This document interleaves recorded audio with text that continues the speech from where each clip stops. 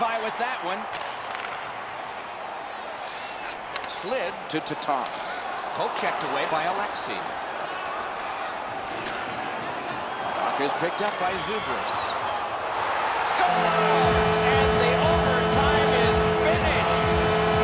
The horn signals the end of this one. The Pylons lost the game. And in overtime, it's like losing a game and a half.